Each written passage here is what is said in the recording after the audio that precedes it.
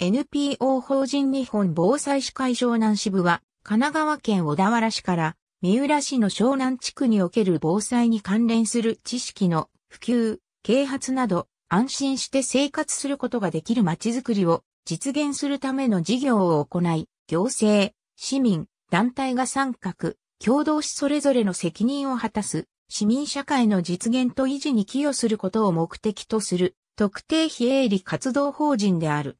防災に関する普及啓発や災害時の支援ボランティア活動を行う。三浦市との協定書に基づき、応急活動体制の充実、強化を図る。日本防災士会湘南支部は、生活協同組合、パルシステム、神奈川夢コープ市民活動支援運営委員会が行っている市民活動応援プログラムに参加している。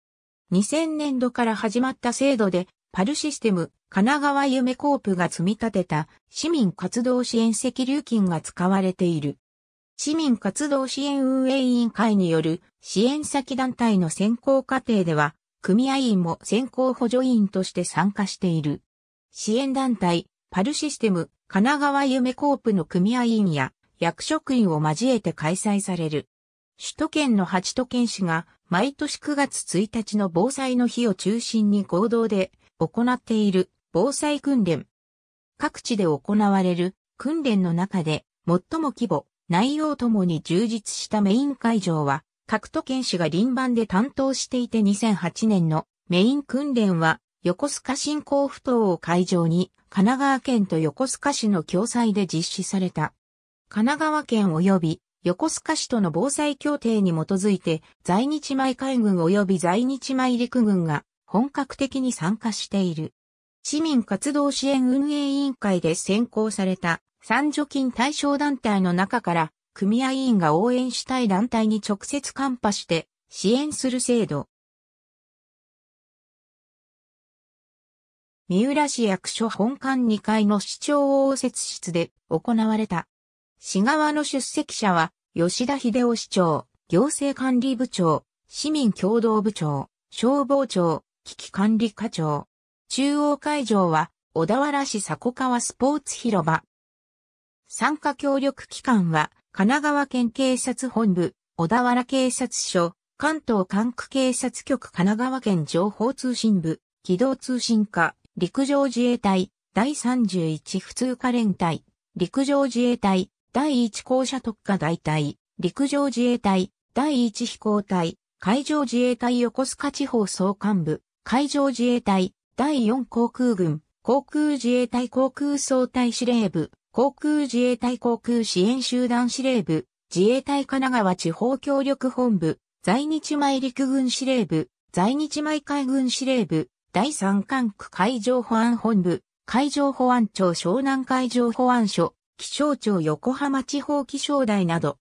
三浦市と三浦市防災会議の主催。三浦半島断層群を震源域とするマグニチュード7.2クラスの地震の発生を想定して、国、県及び防災関係機関相互の応援体制の検証及び協定先との応援活動の連携及び強化を図ることを目的とした防災訓練。訓練項目は、現地災害対策本部設置、運営訓練、被害情報受伝達訓練、緊急輸送訓練、応援物資、応援部隊受け入れ訓練、要援護者の海上輸送訓練、トリアージ、医療救護訓練、水難救助訓練、被災地応援活動展示など、